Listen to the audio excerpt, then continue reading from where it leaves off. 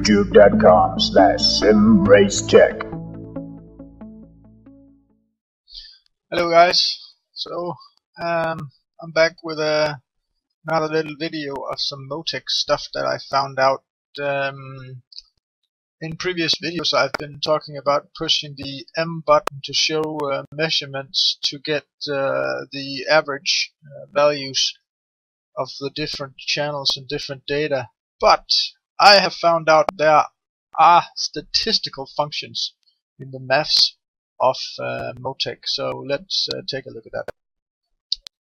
Here we have uh, a normal Motec window and I'm now going to show you some of my custom maths in here and what they do. So I'm going to open uh, one of my last labs here, was, which was uh, in an Aston Martin around the uh, the Nordschleife Nürburgring. It's quite a long lab with a lot of data. So as you can see here, I now have some LMP data and stuff on the rake of the car. Uh, as I said, the attitude of the car, uh, the height in the front and the rear, how it how it's driving, if it's driving tilted forward or or tilted backward. So we're checking that to make sure that the diffuser works uh, as best as possible. So what I've got here is um, different math channels uh, set up. And for now I have some that show uh, what is mean which is the average statistical mean. And the way I do this is by clicking the maths button up here the calculator button and then I add new channels um, which start with the sentence stat mean. So I'm going to find here the fast uh, rebound mean in front. So this is the average values of uh, rebound in the front. I'm going to edit this show you here what this expression looks like. So what it does is it takes uh, fast rebound speed in the front, fast rebound uh, speed in, in front left and front right, divides that by 2, and then it finds the statistical mean.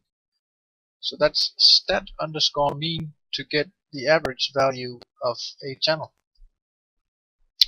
and this is actually good for plenty of things. You can also find the stat values here. And uh, not only do you have uh, start and end values you have maximum minimum and you have the standard deviation which is um, the average of how much uh, the values are moving up and down. So if you um, we can try to add a stat mean to this um, kind of of data here. So we're going to make a copy of the fast rebound front, uh, which is then right click, let's say copy, and then move down here, and right click in the empty space here and say paste. So now at the bottom here we have a fast rebound front mean uh, version 1. Click that, rename it. Let's make this uh, deviation. So it's fast rebound front deviation.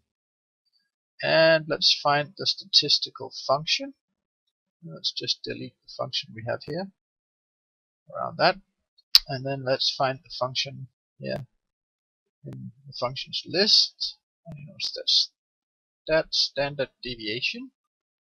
Let's put that in there. Let's make sure the parentheses here are set right. So that's 2 in the start and 2 in the end here, yes. So now we have it. Fast rebound front deviation. I'm going to say OK to this. And close. And I want to add that then to my suspension charts here. I want to go into my, I think I have some instability checks here. Yeah, so I want to add a new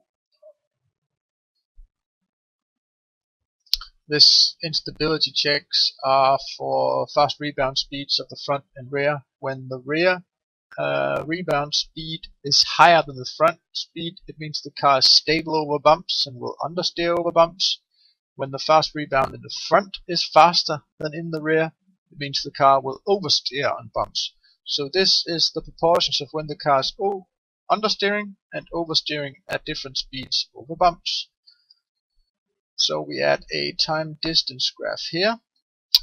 We then add the channel and as we know it had deviation in it, I'm just going to search. I'm just going to search here in, the channel add for deviation. I'm going to double click that, orange, that's fine. And now we have the standard deviation of the rebound speed in front. So this means that the standard amount of difference between the minimum and maximum uh, rebound speeds is 38.5 millimeters per second. So this is the deviations that are most common in in the in the rebound speeds. I guess there are if if you use your you need to you need to perhaps use your imagination to figure out how to use these stat functions. Um, but what I would like you to see is what happens if we take uh, this graph here and edit it and then we remove this and instead we add some of the stat mean channels that I had um, which is uh, on a rebound name. I think fast rebound rear mean and front mean. Both here. So front is uh, this one is the one that can't be higher we're gonna select that and make it red instead. So when red is under green it's okay. And when we make the, red green. So as you can see uh, the rear uh, average uh, suspension traveling speed is higher or rebound speed is higher than, um, the front. So this means the car is uh, mostly stable.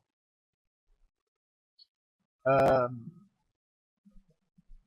you could do this also on the bump speed, and you could use them to get these two uh, graphs as, as, as close as possible. If you have a car with a 50-50 weight distribution, this would make the car neutral while steering. Uh, this is a car with a front engine, so we definitely want to uh, make sure that the car is understeering when we are doing uh, uh corners and bumps. So that's the stat functions. Um, and I just discovered them and started playing with them. I hope uh, you found something here, and I hope you get some uh, ideas for um, for how you can set up Motec with these new uh, statistical functions. I know it's it's not easy getting ideas, but uh, what you need to think of is uh, how the car is behaving what's triggering that behavior and how can we set up uh, measuring points for that. So have fun with it and uh, see you next time.